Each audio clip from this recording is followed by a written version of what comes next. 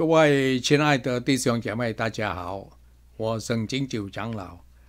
今天，呃，我们很荣幸能够来跟大家啊分享这个呃圣经里面的经文。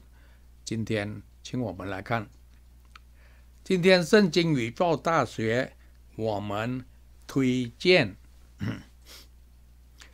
啊，我们推荐安息日课程第六课，第六课的题目是“有那一大国，有那一大国”。好，在我们要开始之前，请我们来啊祷告。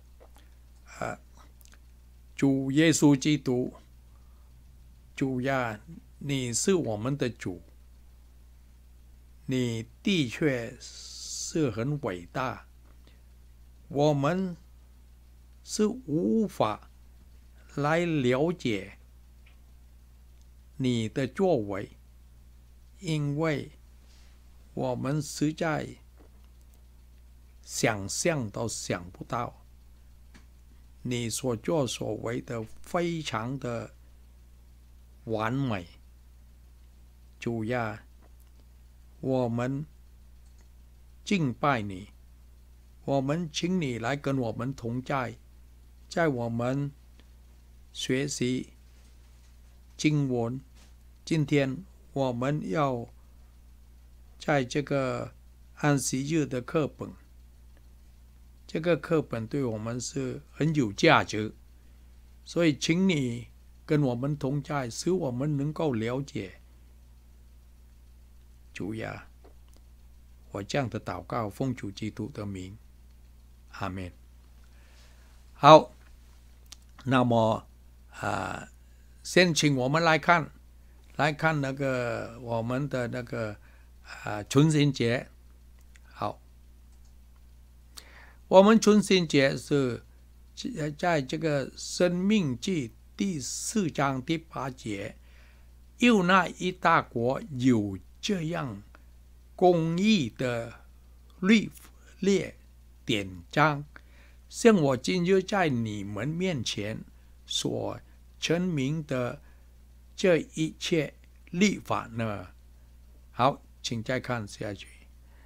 啊，《生命记》的前三章基本上是历史回回溯，提醒百姓到那时为止的经历。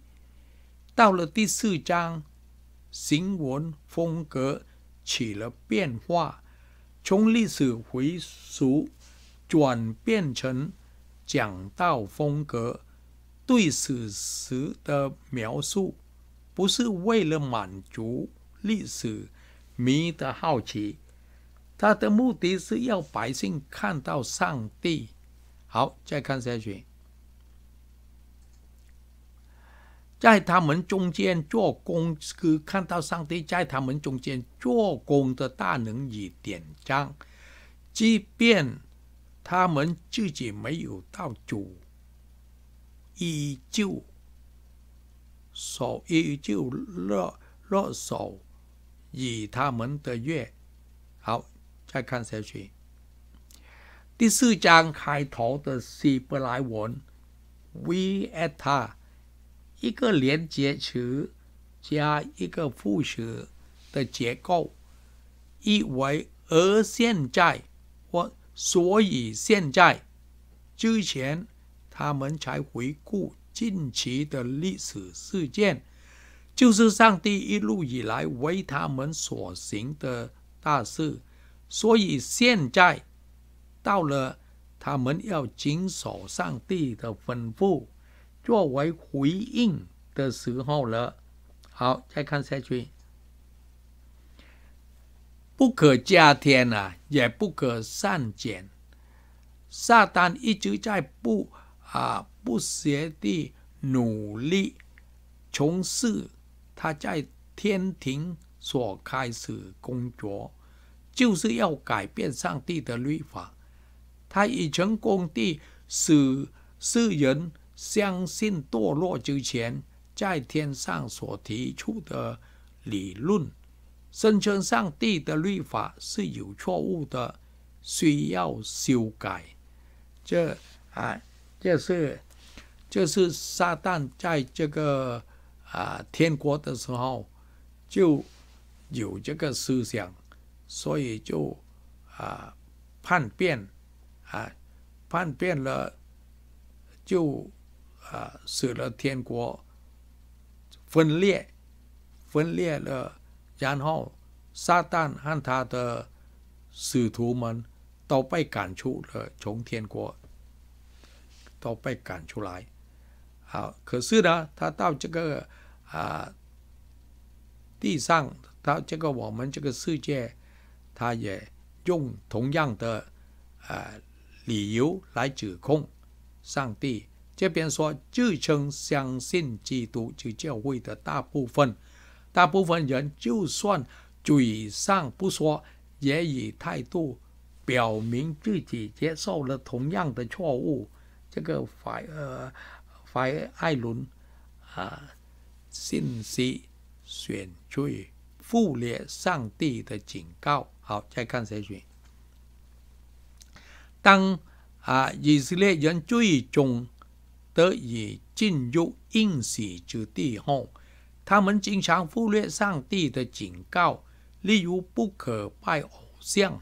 结果，他们随从许多异教的习俗，有时甚至将其融入到对耶和华的敬拜中。然而，到了耶稣的时代，他们在律法上又添加了许多人为的。遗传好，再看下去啊！难怪耶稣说，废了上帝的诫命，不管是加添还是删减，总之律法啊被改变了，以色列国也尝到了啊苦果。好，这样再看下去。巴利皮尔，好，再看《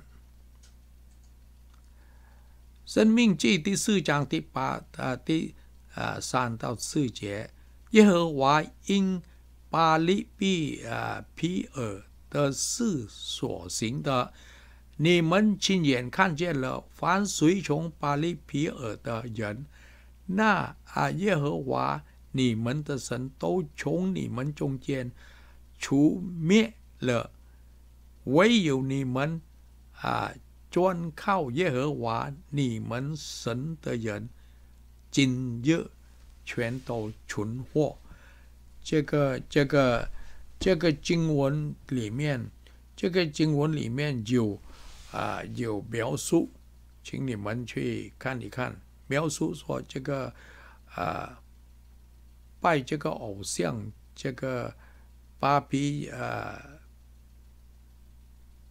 巴尔皮啊，拜这个偶像的上帝都要消灭他们啊！看来好像是很残酷，可是上帝有上帝的理由和原因啊，所以我们啊要从另一个角度来看上帝的作为。好，请看下去。以色列人住在圣庭，百姓以以摩啊亚女子犯起淫乱，他们又叫百姓来，一同给他们的众神献祭，百姓百姓就吃他们的祭物，跪拜他们的呃众神。以色列人与巴利。皮尔联合耶和华的怒气，就向以色列人发作。好，再看下去。耶和华对摩西说：“将百姓中所有的族长，在耶和华面前对着日头献挂，使耶和华向以向以色列人。”所发的怒气可以消了。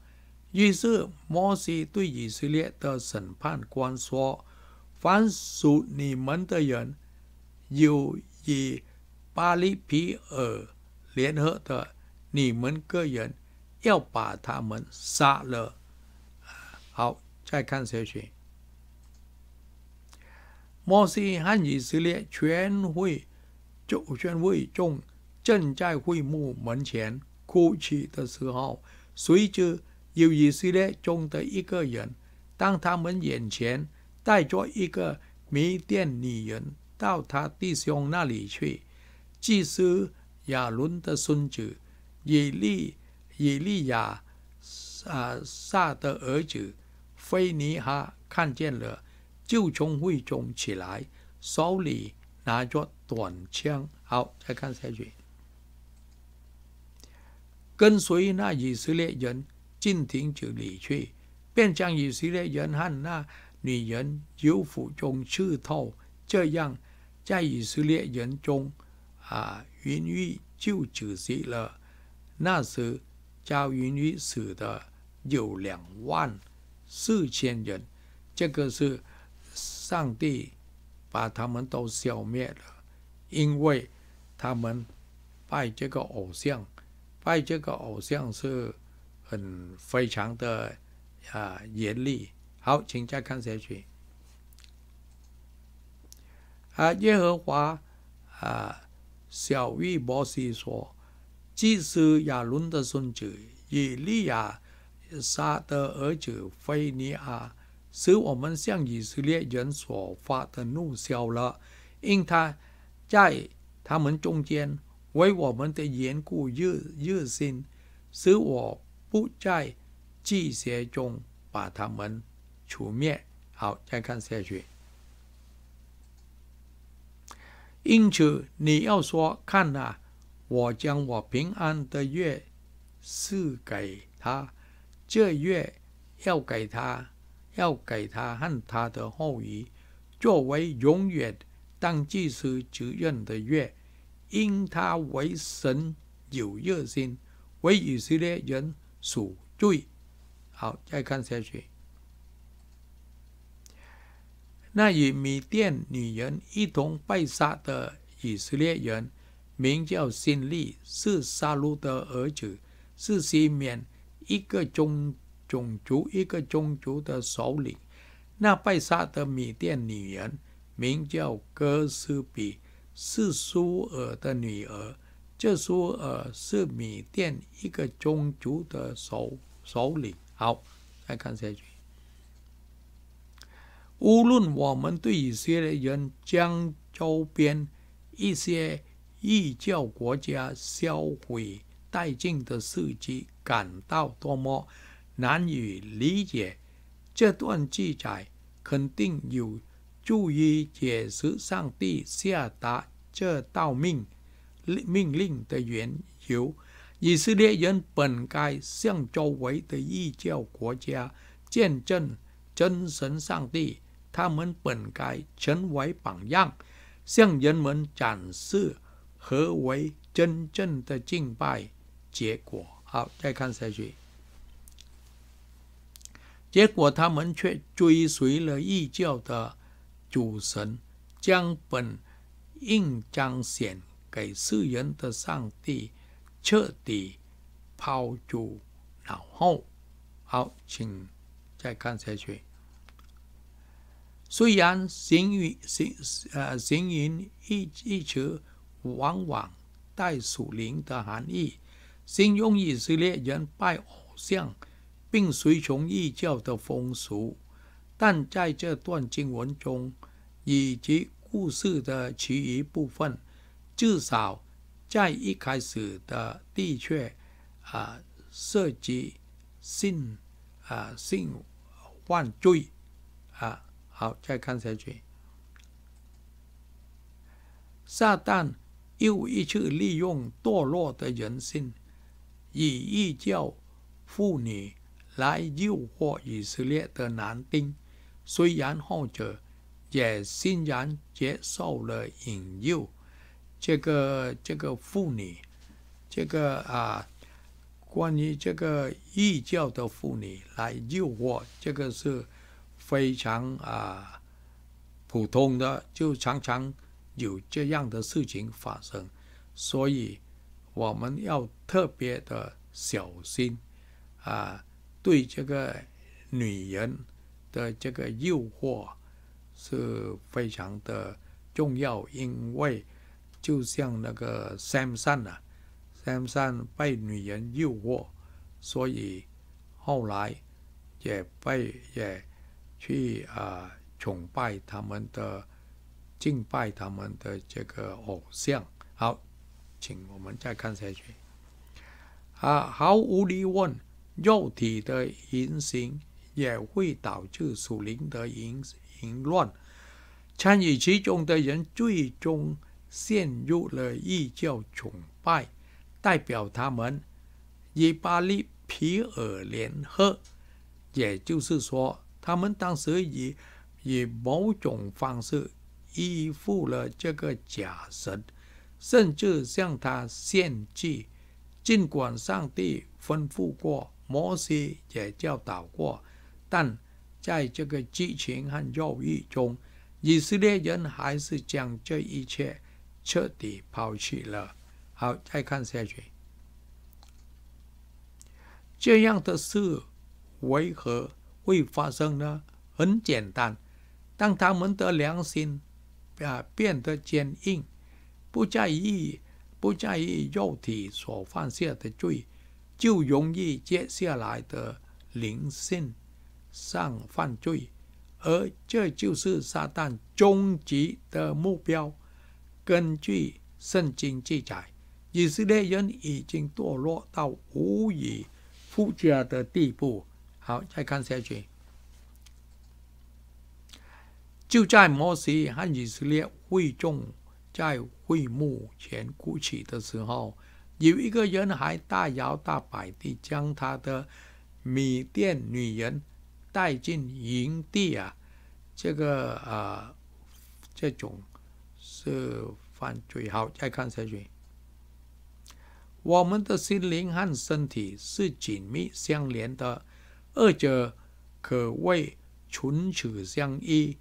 我们从以上圣经的记载中，可以学到什么关于放纵情欲对灵性所带来的危险呢？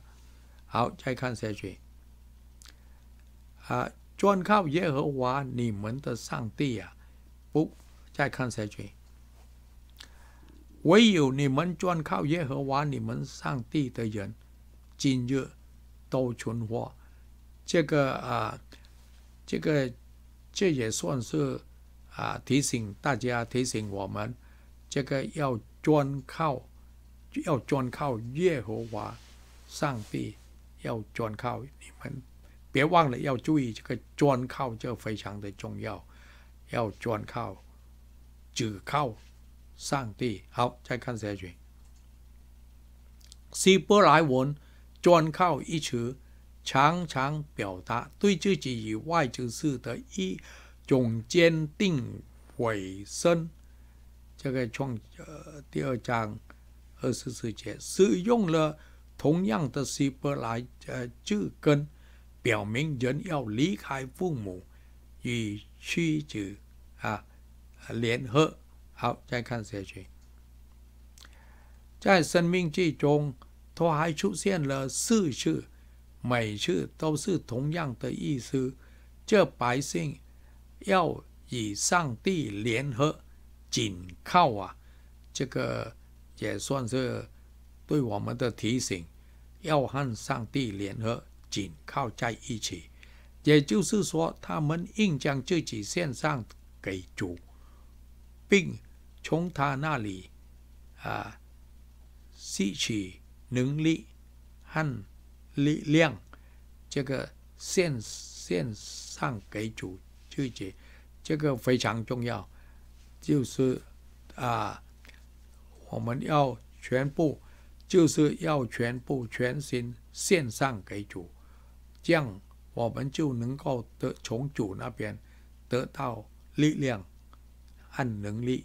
好，再看下去。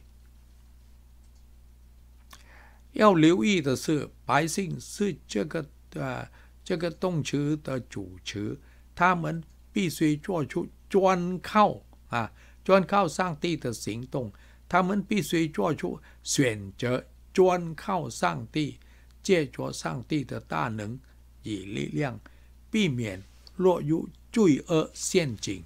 好，再看下去。上帝是信实的，他能保守。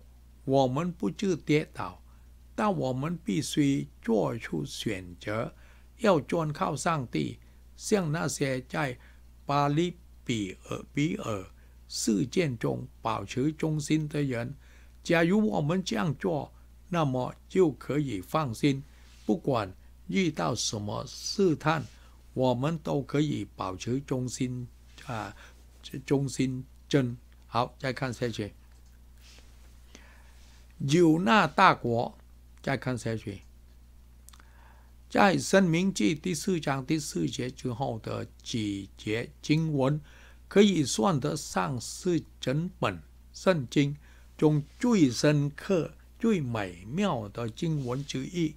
希伯来文的的确精妙绝绝绝伦，甚至可以说，《生命记》最核心的信息。就在这里，其他的内容可是为对他的理理理充。当你读这段经文时，请思考应当采取怎样的方式，将其中原则应用于今天的生活，这是非常的重要。我们这个，我们，我们。读了经文，就要把经文所教导的应用在啊我们现在的生活。好，再看下去。主希望百姓明白，他们被呼召拣选是有特别原因的。他们是一个大国，正如上帝第一次呼召亚伯拉罕从加勒底。出来时说：“我必叫你成为大国。”啊，好，再看下去，使他们成为大国的目的是为了叫地上的万族啊，因他们得福。虽然这终极的祝福是弥赛亚借着犹太人的血脉。来到世界，但在此之前，以色列人应呃应应做世界的光，我还要使你作为做外邦人的光。这都是当然啊，好像是对以色列人啊，好像是对以色列人啊讲的。可是啊，全部的经文也是。指着对我们讲，所以我们别忘了，我们是属灵以色列属灵的啊的的这个。好，再看下去，叫你施行我的救恩，直到地极啊。以赛亚三十四十九第六节，这话不是说世人。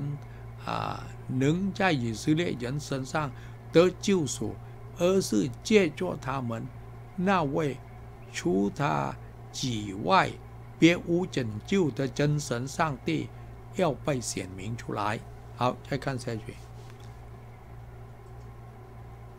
以色列人所敬拜侍奉的是那位创造宇宙的上帝，天地的主宰，而异教徒。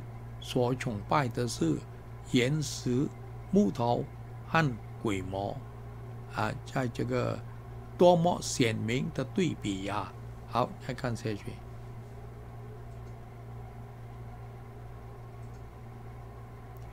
在这几节经文中，摩西指出以色列人的两点特别之处：第一，上帝与他们亲近，他。